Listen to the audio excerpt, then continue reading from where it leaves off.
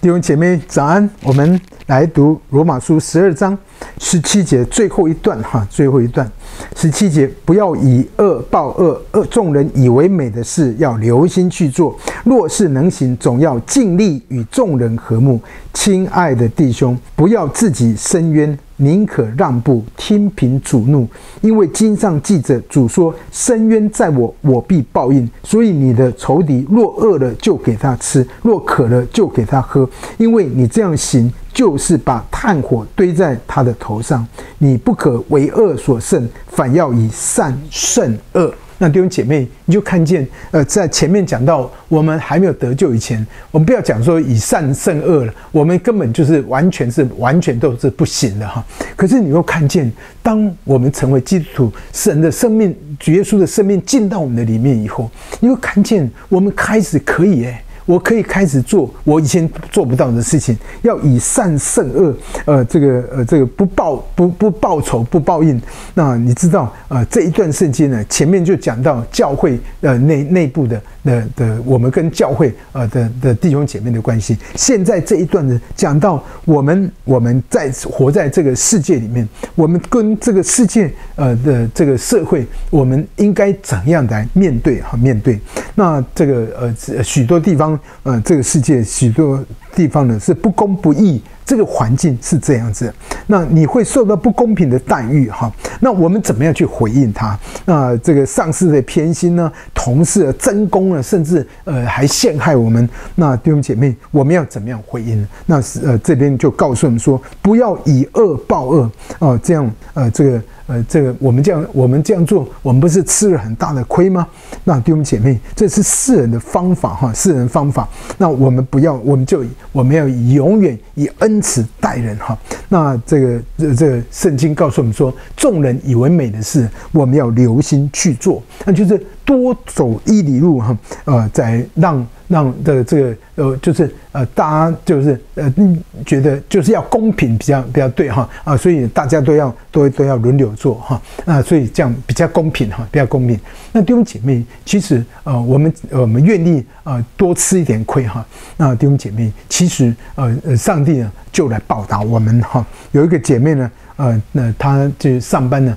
呃，这个就就觉得呃公这个办公室还蛮干净，可是呢茶水间呢，呃因为没有人管哈，没有人管，所以茶水间呢是最脏的地方哈啊，这个汗一塌一塌糊涂。那他他去了几天，他看见那情形呢啊，他就去他就呃不不关他的事啊啊，他就在下班的时候啊，他就先去把它把它把它整理整理整理干净。那所以有人呢啊呃这个就说哎你是基督徒吗哈哎。对，奇怪，他也没有讲说，呃，我是基督徒，可是他这样去做，人家就说，哎，你你是基督徒哦，那所以弟兄姐妹，我们感谢神哈，呃，虽然呃这个都是也许几其实都是举手之劳，是不是？那我们开始去做一些别人不愿意做的事情，那我这个呃上帝呢，呃就会你会觉得上帝很喜悦你哈，喜悦你啊。我有一次在飞机上也是一样啊，这个飞机呢，呃到了这个到了这个。呃，快要到之前的呃那一段时间呢，呃，就是大家也睡醒了哦，就去上厕所，所以厕所一呃就很很脏很乱。那当然，这个本来空中消息也多，那后来空中消息要准备呃这个这个吃饭的东西饭，他还没有时间去弄。那所以那个那那那一段时间呢，厕所是最脏的最脏。那弟兄姐妹，感谢神哈，我就进去，我也没有，我就觉得啊，是不是呃这个把它整理一下？那所以。呃，就我就去把它整理完。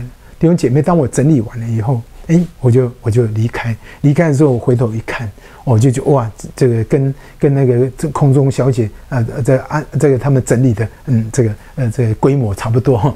我很高兴，我就走。但弟兄姐妹，当我走的时候，我就觉得。天赋呢，用笑脸来看我，所以弟兄姐妹，感谢神哈，感谢神。我们总可以思想一些，我们可以对这些还没有信主的人，我们就是真心的来对待他们。有一个呃，这个姐妹，她在在在在那个呃呃这个 supermarket 啊超市啊呃做收银员哈，这是很小的资源哈。啊，弟兄姐妹啊，她她就想说，我怎么样祝福那些每一天我在那么多人面面面对，她就想。啊，他嗯就他就准备一些啊，有有一点类似恩典卡哈，那就是他就拿买了一些啊这些呃这个祝福人的的这个卡片呢啊，上面都有一些经文啊，这样就呃这个打完了呃这个收完了钱啊，就是哎上帝祝福你，又给他一个啊，你知道后来这这个呃这个本来很多条的这个收银不是很多个啊，就是为了节省时间，你知道啊。这个旁边其实人都很少，很快。可是他这一排呢，啊，就排很多人。为什么？大家为了要得到他的那一张那个那个恩典卡哈，恩典卡。弟兄姐妹，感谢神啊！啊，后来那个呃，这个这个老板就说啊，你你你为什么要这样做？他说，我就要祝福。那后来。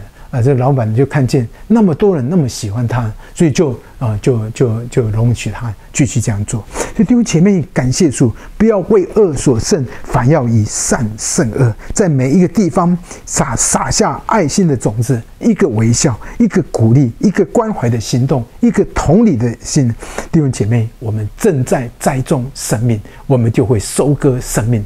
弟兄姐妹，感谢主。上帝赐福给你，无论在什么环境里面，你都可以为耶稣基督做荣耀的见证。别忘记，耶稣说：“你们是光，你们是盐。我们要发出光来，我们要发出盐的味道来。”主与你同在，阿门。